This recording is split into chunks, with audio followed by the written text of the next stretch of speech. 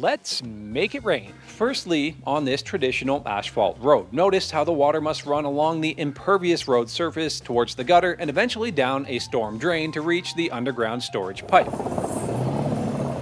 Now let's simulate rain on this newly redeveloped section of road in Calgary's Marda Loop neighborhood. Notice a difference? With the porous pavers there, we actually have a, an increased uh, capacity for stormwater uh, runoff. The difference is porous pavers. These pervious interlocking blocks are being used to pave a section of road prone to flooding that's also being earmarked for hosting events like festivals.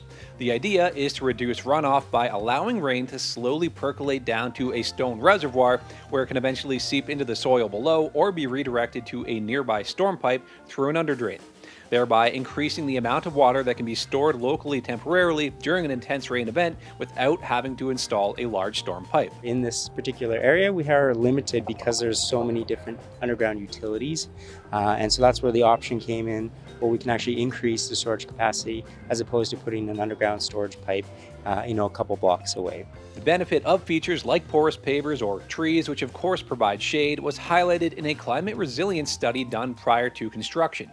That found that thanks to a warming atmosphere, the likelihood of extreme rain and heat events is on the rise. Marda Loop is an existing area, so um, they may not have uh, modeled that uh, adequately at the time. So that's what you see here, an effort to build in a way that's adaptive to changing weather scenarios.